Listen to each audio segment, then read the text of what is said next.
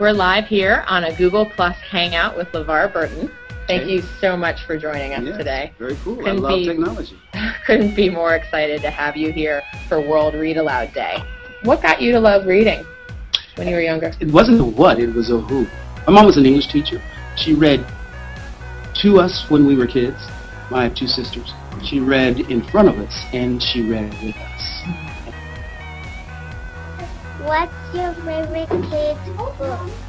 Can I name more than one? Yes. yes. I love the book Amazing Grace. Do you guys, do you know the book Amazing Grace? Do you know I that don't book? know that book. wonderful story about a little girl named Grace um, who wants to play Peter Pan in the school play. And nobody thinks that she could play Peter Pan because she's a girl.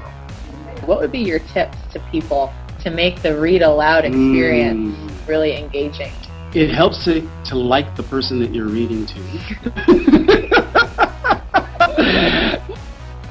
what the listener is doing is, is letting you in to their imagination. And so I think it's, it's important to be really respectful of that, uh, that process and to honor it and to be gentle and mindful that you know you are being invited in.